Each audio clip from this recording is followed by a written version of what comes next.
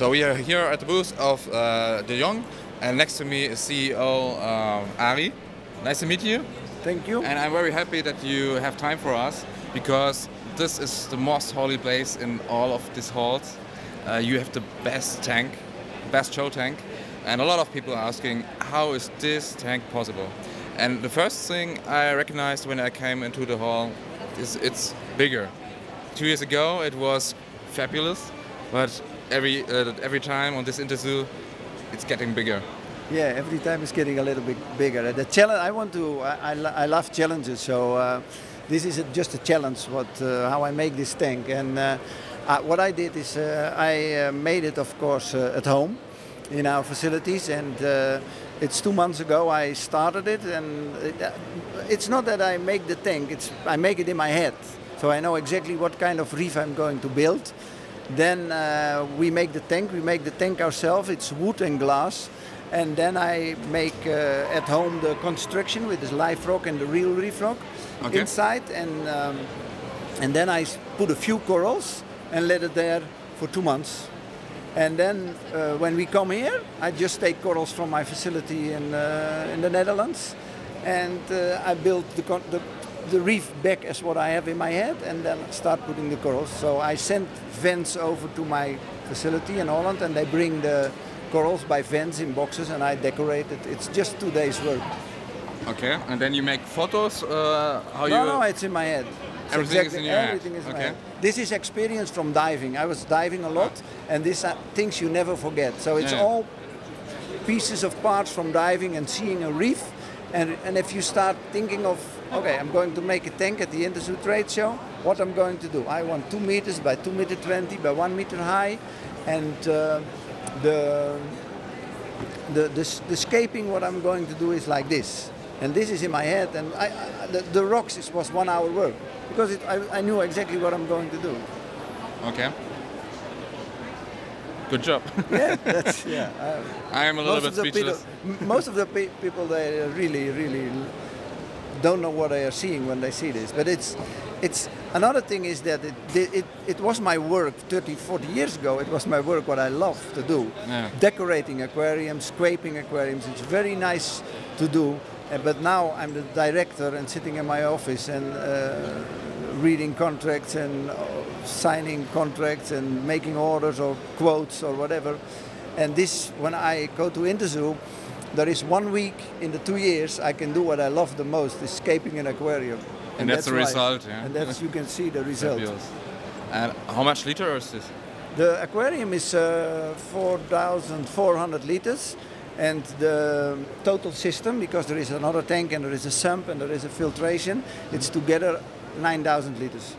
Whoa. So it's a lot of work to bring everything in water and rocks and to here and. Uh, okay, is there a sump under The sump is under that one, and this one is connected with this tank. Ah, okay. So, and that's the filtration. And this filtration, what we sell, that's why it's open, that people can see what it. Uh, ah, okay. But to escape an aquarium like this, it's nice to have a filtration that like that, but you can use, in fact, every filtration. It's more the, the, the, the, the, the it's like an artist when you make this. It's like painting. Yeah. The, the, when a painter starts making a painting, he knows already up front what he's going to make, and that is what I did. Do you have numbers for us? How many corals are inside this tank and fishes? There is uh, 400, not exactly, but I thought 425 uh, fish in the tanks and really, and the, yeah, there's a lot of Anthias in there, and there is. Um, uh, I don't corals, want to know the number about the corals. No, but the corals, it's, it's uh, I started to, to count the acanthastreas, and uh, I came to 100 only from one coral. So I think Whoa. it's only this type of coral. So I think altogether it's maybe a thousand corals or I don't know exactly. Okay. I just take from my facility what I need to scape this. Mm. So you said you need one hour to put all the rocks inside. The rocks, and then just, just one hour. But how much time do you need for the corals? For the corals, I did in the first day. I did 90 percent. The first Okay. So on Sunday I put the corals. On Monday I put. The, oh no, on Sunday I put the stones. On on Monday I put the corals, and then I used the other two days to just finalize small pieces and bits to, to, to put a coral like that, two centimeters there or there, there and, and that's something like one hour work a day or two hours. It depends on when I see something. Now I have seen already a few things, but it's not nice. So tomorrow is a little bit different. Okay. And uh, yeah, that's that's the way it goes, and that's what I have done. So the biggest piece in this tank is this roof. Uh, yeah, that, that is that is a, that is a, a, a big real reef rock, and I I fixed them together, and then I made uh, a mole from epoxy on the top, and um, so the two rocks fit exactly into each other, and I glue the acropora on the top and the tubastreas I glue under the the rock. And so the, the, the plate where the acropora is on, because it's like a mole, it fits exactly on the top. So it's like a sandwich. So it's two rocks as a sandwich. And then it's like a natural bridge you see in the... It's so great. Uh, what is your your favorite spot in this tank? Is I think is it where we are is standing, yeah. The- Yeah. Because this, this, this makes with the gorgonias and the, and the exact uh, uh, place is... Uh, it's it's uh, so natural look when I- you look in Yeah, through this hole. very natural, and here do I feed also, so the fish go all under there. I can, if you want, I can feed them. Yeah, then, uh, please. Yes. I take the food. Yeah.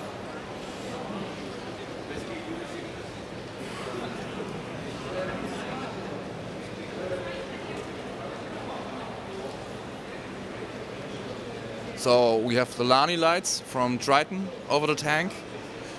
Let me count, uh, 16. Not bad. and the pumps are from Expect. The Jai pump. And also, I don't know what what, what pump what pump is this? That's an aquamedic, uh, Aquamedic. Ah, okay. Yeah, the, yeah, which gives the the wave. yeah, yeah. It's not a pump that's The- the constantly pulse. running, but it gives the pulse. You Yeah. see then that the water is like a wave. Okay. Uh, they take the food, so uh, it's only one minute, and then uh, Okay. because it's a nice shot, I think, when you see the fish uh, feeding. I hope the camera's ready for this.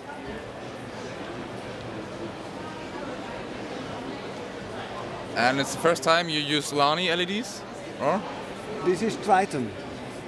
Yeah, it's, it's Triton, but the, the, Oh, the model Lani- is called oh, yeah, Lani. Yeah, yeah, yeah, yeah. The model is Lani. Oh, this is. Uh, uh, no, we use it more times, but this is just because I, when I started the tank and it was two meter by two meter, I said, okay, I need so many plates, and who is the first one who can give it to me? And uh, I asked a guy from Tr- Triton, and he said, yeah, I have it, so okay, bring it to me. And uh, Okay. just. Uh, but I can make the tank uh, with other lights also. Yeah, not- sure. Okay. Let the show go on. What what is it? This is uh, some um, Artemia, Okay. frozen Artemia, which uh, I brought from uh, Holland to feed the fish a few times a day because that's very necessary to feed a lot of times because there is Anthias in, which this is a fish species that you have to feed three, four times a day at least.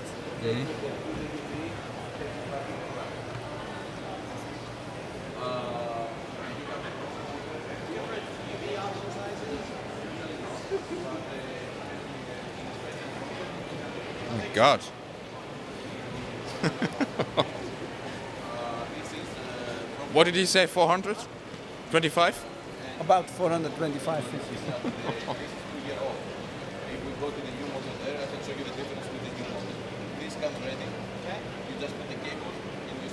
controller on the UV, a controller on the autobus. So you have also some special fish inside this tank? Yeah, there is a few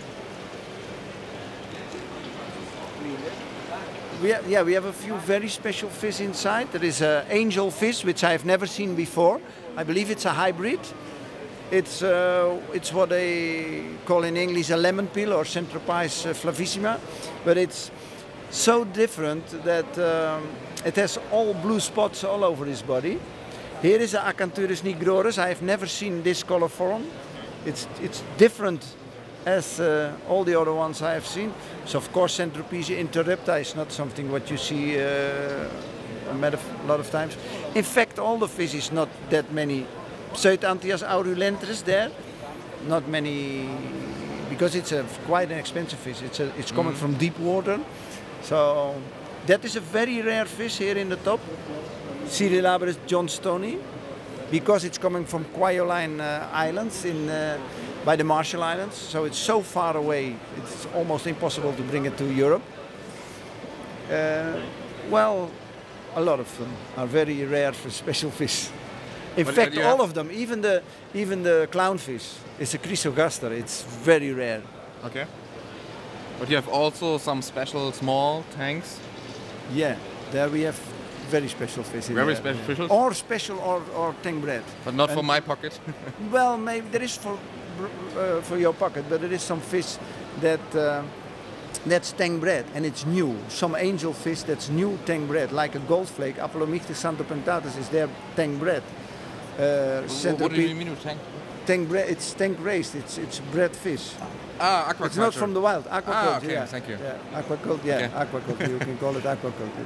But yeah, that is of course uh, something new. That angel fish will now be bred. I Mm-hmm. mean, if, if, for, for example, a, a Traumkaiser uh, is Yeah. tank bred, you do not need to take it anymore from the wild if it's not necessary because Yeah, they sure. can bred as many as they want.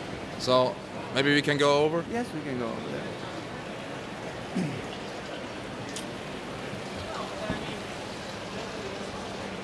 So this time we can see something. I, re- I remember two years ago you had this bigger tank in a wall Yes. and it was very dark.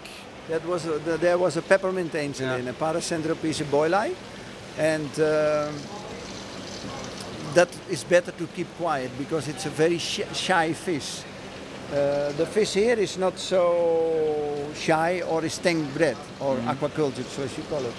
Um, here you see uh, Genicanthus personatus. It's uh, it's bred in Hawaii by Karen Brittain. And that's Holacanthus clarionensis. It's bred in Bali, in a fish farm in Bali. The same for the fish under there. It's Apolemichthys xanthopunctatus and Holacanthus passer. Um, both angel fishes tank bred in, uh, in Bali. This is some special uh, clownfish, just uh, gold nuggets. They call it the gold nugget premnas. Centropyge flavissima or lemon peel, tank bred in uh, Bali. And this is our named fish.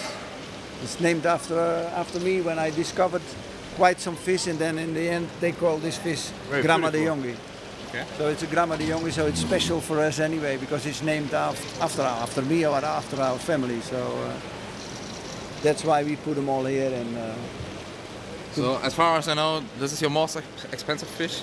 This is the most expensive fish. Yes, It's around thirty thousand or around uh, um, a good Mercedes. a good Mercedes. a good is there a bad Mercedes? No, that is they, they are all good, but I mean, uh, not the small one, but the bigger one. No. Uh, it's very difficult to say because we are a wholesale and we cannot say what the price is where they were sold for. And uh, but you you must think about thirty thousand or fifty thousand euros for a pair. Okay. Thirty thousand. Let's do it. You want it? I can pack it if you want. No, I don't say no because uh, this could be a vocal contract. No. Yeah. Um, yeah. I mean, it's a good thing to breed these fish, fishes. And what do you think? Will there be in the future a point where we can say there are no wild catches? And do you think this will come? I don't think so because there is some fish which is sold so little that uh, it's not worth to start uh, breeding it. For example, butterfly fish fishes is not a very common fish. Maybe in the United States, but in Europe there's no butterfly fish. So if we have a butterfly, a fish from a family from the butterflies, Chaetodon, Auriga or whatever, we, we sell only a few in a month. And there is no breeder that start breeding Yeah, fish sure. for there is no ask, ask for. But the fishes that is uh, that what, what, they, what they ask for, like centropise and uh, gramma and uh, angelfish like that, I think there is a, a, a moment that we will have uh, 90% of them will be tank bred. Uh, right now already, if you if you see at our sales at, at De Jong Marine Life, it's um, it's maybe 10% is from the wild, no, 10% is tank bred and 90% is from the wild. if you look in species. If you look in numbers, it's maybe already 60% is tank bred and 40% is still from the wild. Because uh, clownfish, like amphiprion, that's 100% tank bred. So, and that's the most sold fish. Like it's a very normal, easy. And so, it's so easy to breed them. I can do it. Yes, it's easy. Yeah, it's easy. And, and and 20, 30 years ago, it was very, very complicated and very difficult. Yeah. Now there is only one or two people in the world that can breed angelfish. Okay. But this was the same with the clownfish 30 years ago. So what what the future will bring, We don't know. we don't know. But I think everybody is investigating in. Uh, Yeah, it's, in- uh, it's the right way. It's a good yes, yeah. yes. Okay. So I, I think that was all, and thank you very much. You took the time for us, and um, My yeah. pleasure. Thank you for watching MeerwasserLive TV, and we see us next time. Thank you. Bye. Thank you. Bye.